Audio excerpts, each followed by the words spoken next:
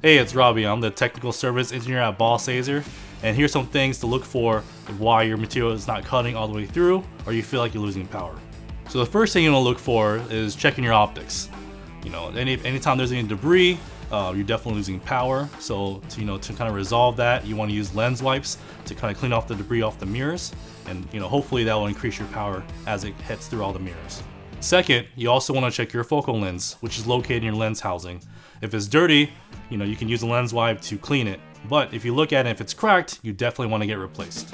Third, you want to make sure your material is completely flat and leveled in respect to the tip of the nozzle, in which this is where the focal depth is being measured. Another tip is checking your laser alignment. If you're not hitting in the mirrors or clipping the nozzle, that could be the reason why you're losing power. And if you need help with your laser alignment, give us a call and we will walk you through that process. We get something, we get some content, you know what I'm saying? Hey, how's it going, guys? Listen, listen, listen.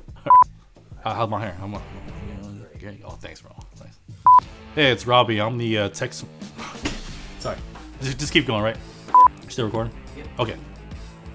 And fourth, if you need, if you wait, what is it again? If you need something, wait, what? Yeah. Okay, we can help you walk you through that process. Uh.